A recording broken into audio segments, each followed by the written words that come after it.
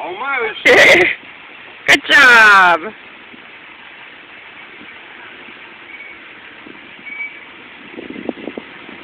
Oh, that was so close.